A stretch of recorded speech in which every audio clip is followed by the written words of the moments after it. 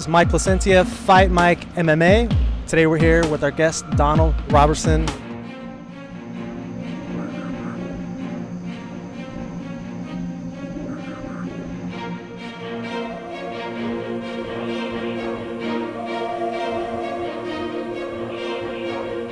Mike Placentia, Fight Mike MMA. We're here with Ultimate Fitness fighter, Donald Roberson. How you doing, man? I'm pretty good. Uh, you were supposed to fight in last weekend or two weekends ago, West Coast Fighting Championship card, and you got pulled off of it. Tell us what happened. Um, couple things. Uh, my first opponent, I believe he got hurt. Second one uh, had some medical issues, and after that, you know, cat and mouse trying to find somebody, but too short a notice. You know, two days, you know, away from the fight, so they uh, took me off the show. But I was more than ready, you know. But it happens. I'm used to it. Got to roll with the punches, man. You know, slip in, slip out. It happens. I'm ready though. Did you uh, treat yourself to a couple of uh, some some uh, some babes at the massage parlor for, just for going through your trouble of cutting all the weight? Oh man, before and after, I had to. Man, I had too much energy. I had to do something with it. Besides stuff myself, yeah. I got a couple deep tissues. I can't lie about that. Yeah.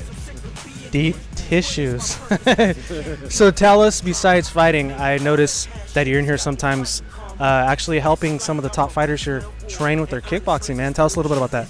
Yeah, um, I consider myself to be a, a really good striker. Uh, I'm a good MMA fighter, but striking is my thing. Um, and yeah, I'm one of the head instructors here at the gym. I give a lot of personal and private lessons. Um, I help a little bit with the top guys um, when they need it, some mids here and there, um, you know, a few pointers. I mean, obviously they're top tier, so they get their coaching from, you know, Coach Kampmann, who, who was recently here, and, and Coach Bang, who's a who's a really good coach and got, you know, the number one uh, Coach of the Year award. So, but yeah, man, I help out as much as I can. Um, striking's my thing, and everybody knows that. Could Ronda Rousey beat Floyd Mayweather? If she takes him down, yeah. But other than that, I don't I don't think so. She looked really good in her last fight. Her striking, her boxing, she's improving. But you know, Floyd, you know, he's on a whole nother level. I don't I don't think she can see him. Could you beat uh, Ronda Rousey? if she didn't take me down, hell yeah, yeah. Um, I got the range on her. Um, you know, I got the striking prowess. I'm too big, I'm too fast, I'm too pretty, but she takes me down, man. I don't know. I got long arms. I might be in trouble, but I'll do my best to stay up. But she's a hell of a fighter. Love you, Rousey. Love you. Props there. So last weekend's UFC 175, your teammate Urijah Faber. Tell us a little bit about what you thought of the fight.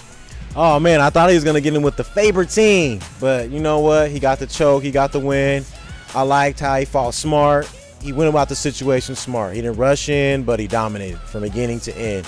Caceres is good. Um, you know, he's ranked 12th in the world, man. He's made a lot of improvements. He looks really strong. He's young. He's hungry. He smiles a lot. but you know, Faber is is a beast, and uh, he's one of the best in the world, and he, he will be. You know, even when he retires. So, you know, it's a good fight, and I enjoy watching it.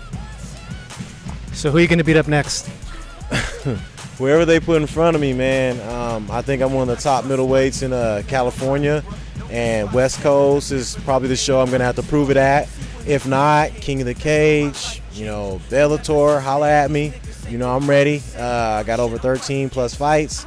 All my wins are by knockout. At, at 185, I'm undefeated. I'm strong. You know, I look good. I got a pretty beard. Man, come on, look at this beard. You got to have this beard on the show. Got to, man. But anyway, you know, I'm, I'm ready. UFC, I'll, I'll be there soon, but I'm working my way up one fight at a time. But, you know, the Black Mamba is on the rise right now. So, you know, beware. Don't get stung. This guy's a good fighter. He's pretty. 185. He does stand up. He trains Urijah. What can't this guy do? So, with that said, how can people get a hold of you social media? What's your Facebook, Instagram, Twitter? Uh, Twitter, B Mamba at uh, 185. Same for uh, my email is uh, Black Mamba at 185 or Black Mamba 185 at gmail.com. Instagram, B Mamba 185. All right, guys, you heard it here. This guy's pretty. He can fight. He got all the social media stuff. No reason to not get a hold of him. Bellator, UFC, Fight Mike MMA, out. I make you all my yes men, you know, just hit them with drum and base. So if I dead men, always after a bloody taste. So I'm skipping them in the face, that's helping them in the way. And if they disappear out the scene, I'll let them go on with their day. I need my homies who were down like that. 5150 hats, coming strapped, cause I got my back.